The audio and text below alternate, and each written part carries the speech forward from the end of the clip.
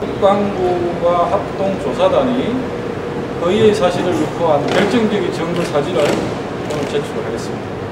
요게 15일날 그 합동조사단이 공개한 노래입니다. 그러니까 쌍끌이 여성이 검증 올렸다고 하는 노래입니다. 요게 20일날 합동조사단이 발표한 노래입니다.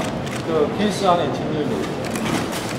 이 사진은 어, 바다에서 우리 고기 잡을 때 바로 건져 올릴 때 찍은 사진입니다.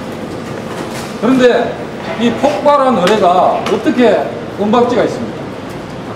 자, 그런데 이걸 합조단이 자기들이 은박지를 씌워도 문제고 안 씌워도 문제고 근데 씌웠다는 것은 이 가려져 있는 이 속에 1번이라는 글자가 있었던가 아니면 없던가 라고 알고 있었다는 겁니다.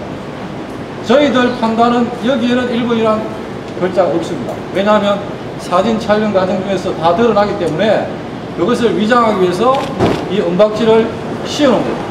이거 얼마나 조잡하게 스카치 테이프로 발라놨어요. 양쪽에. 근데 합조단이 지금 그 의뢰의 1번을 확인한 대로는 요 이게 선박입니다.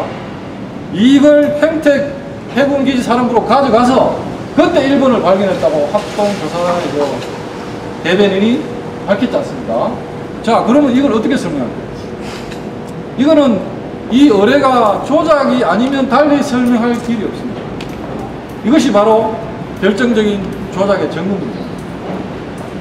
다시 한번 말씀드리면 21일 날 공개된 의뢰와 15일 날 건졌다는 의뢰는 다른 의뢰고 그 의뢰의 출처는 천안함 사건 나기 전에 이미 해군 본부에서 해군에서 가지고 있던 의뢰를 연출한 겁니다.